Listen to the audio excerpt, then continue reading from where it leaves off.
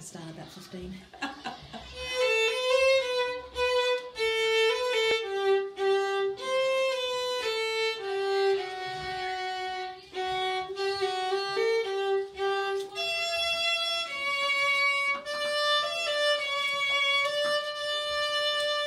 and then back to